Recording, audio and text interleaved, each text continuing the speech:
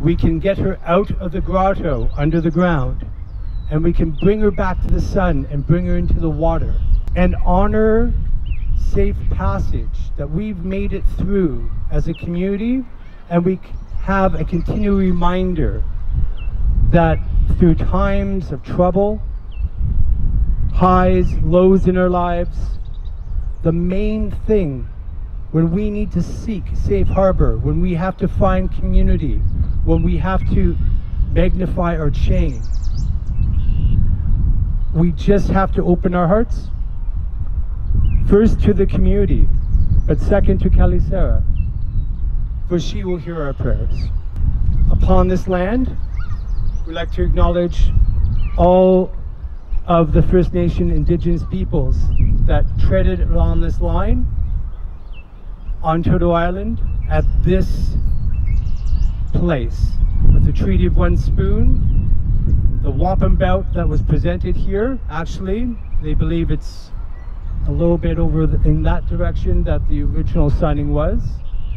But we are partners in protecting and having stewardship of this land. But we should not forget who was here first.